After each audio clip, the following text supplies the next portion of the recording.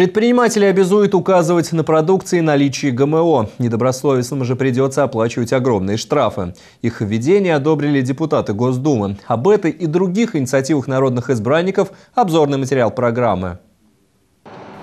Скрывать наличие генетически модифицированных организмов в продуктах теперь станет невыгодно. В России вводятся штрафы за нарушение требований к маркировке продукции. Наличие ГМО обязаны указывать на этикетке. В случае нарушения бизнесменам придется заплатить штраф. Для индивидуальных предпринимателей размер взыскания составит от 20 до 50 тысяч рублей, а для юридических лиц от 100 до 300 тысяч.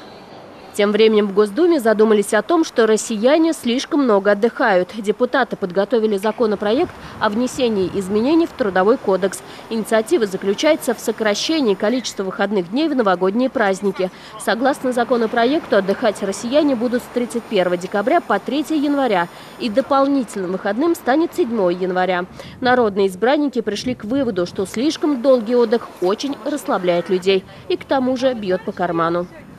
Массовое сокращение грозит сотрудникам системы Министерства внутренних дел и Федеральной службы по контролю за оборотом наркотиков. В службе исполнения наказаний уже заявляли об уменьшении численности служащих. Проводимые преобразования предполагают перераспределение бюджетных средств на выполнение основных задач службы. К сокращению приступит в МВД. Планируют снизить численность центрального аппарата и главков в регионах. Районное звено при этом не затронут.